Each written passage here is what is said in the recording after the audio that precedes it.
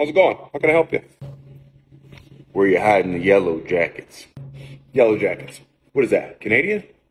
No, it ain't Canadian. Beer. Ranch beer. What, like, like Mickey's? No. Don't you watch Yellowstone? Yellowstone? Oh, that cowboy show. Ain't just a cowboy show. It's about America. It's a way of life.